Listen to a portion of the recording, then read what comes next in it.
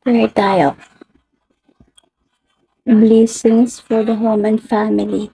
God our Father, walk through our home and take away all our worries, sadness, and illness.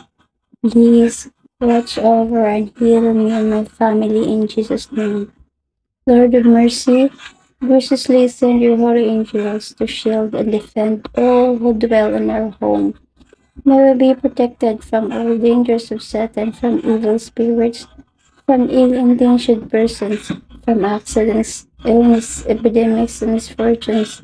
In your kindness, keep our home free from the hazards of earthquakes, typhoons, tsunamis, fires, and ravages of war.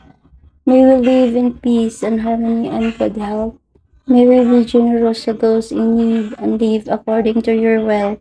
This we ask through Christ our Lord. Amen.